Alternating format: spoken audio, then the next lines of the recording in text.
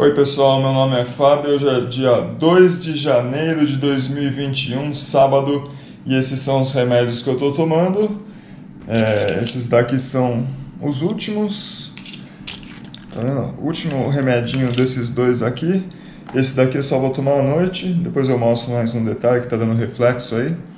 Esse daqui, o Coquis Selecochibi, é um analgésico anti-inflamatório.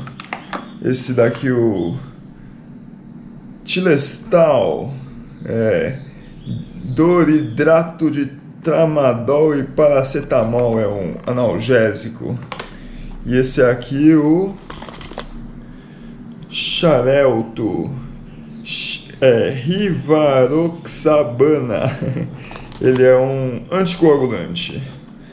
E hoje é o último dia que eu tomo este e este. Esse aqui é uma vez por dia só. Esses dois aqui são duas vezes por dia, né? A cada 12 horas. Cinco, foram cinco dias. Hoje é o último, agora, né? Agora de, de manhã que eu tô gravando. É o último comprimidinho. Esse aqui ainda tem mais cinco dias.